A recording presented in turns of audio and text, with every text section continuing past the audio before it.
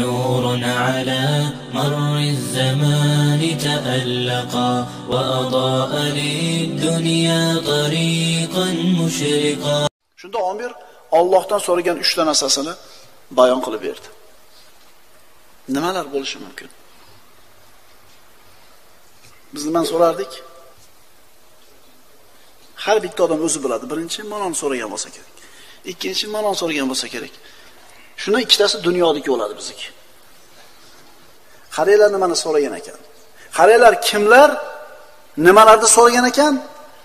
Ey ketibdi ular ham hammasi. Biz nimalarni so'rab yuribmiz, biz ham ketamiz. Bizga ibrat bo'ladigan odamlar nimani so'ragan ekan Robbisidan? Omir aytdi. Allohdan so'ragan birinchi narsam va Alloh uni berdi. Dinim uchun menga ayollardan ko'ra xatarliroq narsa yo'q edi. Robbimdan ayollarga bo'lgan muhabbatni qalbimdan olib qo'yishini so'ragan edim, Alloh berdi. Devorga qaradimmi, ayolga qaradimmi, menga farqi yo'q dedi.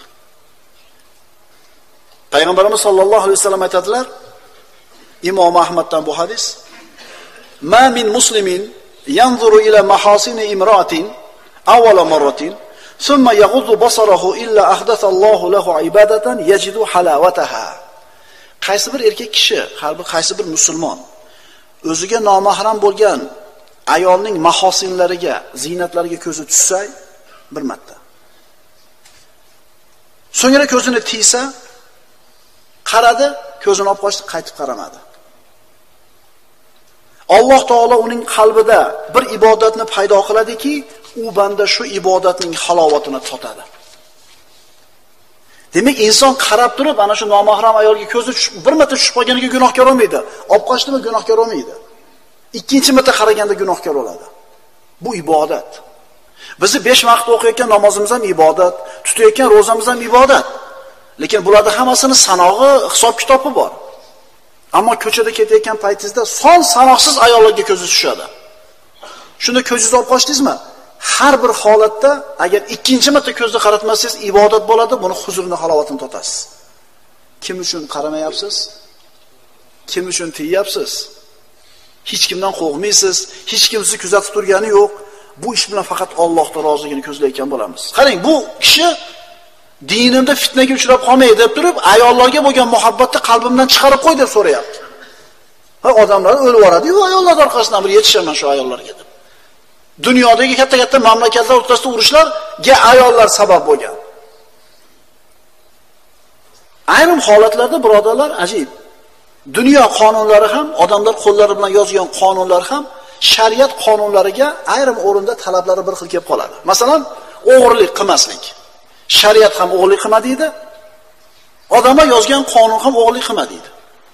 Ammo dunyo talabi bilan o'g'irlik qilmayotgan odam qamalib qolishlikdan, jazodan qo'rqib turib o'g'irlik qilmaydi. Ammo musulmon kishi Allohdan qo'rqib turib o'g'irlik qilmaydi. Yana Alloh o'zi bilgan hikmat uchun bo'ldi. Shunday bir talablar borki, shariat talablari. Dunyoni hech qaysi qonuni bunaqa talabni qo'ya olmaydi. Masalan, ko'zni tiyish.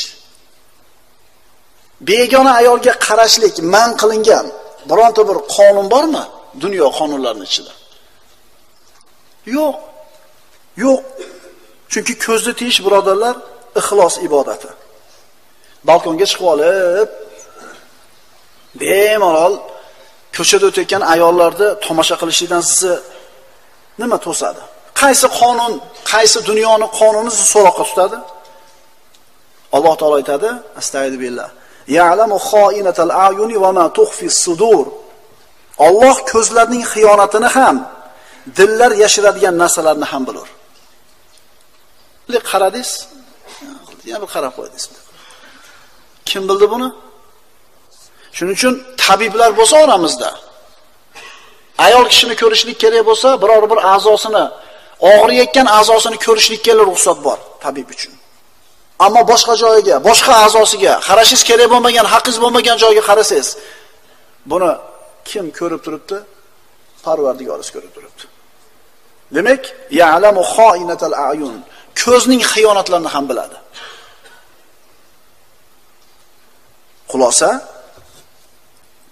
kimni yolg'iz qolganida ham to'sadigan qo'rquv bo'lmasa gunohlardan, Alloh taolo bu bandani qilgan amallariga parvo qilmaydi. Qaytaramiz. Yolg'iz qolgan paytingizda ham gunoh ma'siyatdan sizni to'xtatadigan qo'rquvingiz bo'lmasa, qo'rquvingiz bo'lmasa qalbingizda sizni boshqa qilayotgan amallaringizga Alloh taolo qaramaydi, parvo qilmaydi. Ayollarga bo'lgan muhabbat topib qo'y dedim, Alloh berdi. Basaralik kishi bu birinchisi edi. Ikkinchisi nima? Ikkinchisi nima edi? Nimani so'ragan edingiz? Omir ibn Abdulloh aytdi. Robbimdan uning o'zidan boshqadan qo'rqmasligimni so'ragan edim. Bitta o'zidan qo'rqay, boshqa hech narsadan qo'rqmay. Alloh taolo uni ham berdi. Birodalar, odam bolasini dunyoda qo'rqitadigan millionlagan narsa bor. Millionlagan sabab bor. Mashinaga o'tirasiz, qo'rquv, shopir uxlab qolarmikin? O'zi mashinaga o'tirib, uyingizga borguncha qancha qo'rquv. Uyingizni qo'yib kelib, ish qilib zamikani bir bo'lib bir joyda bir narsa chiqib ketmasmikin? Siz bilan bizni qo'rqitadigan narsa birodarlar atrofimizda to'lib toshib yotibdi. Omir aytadi.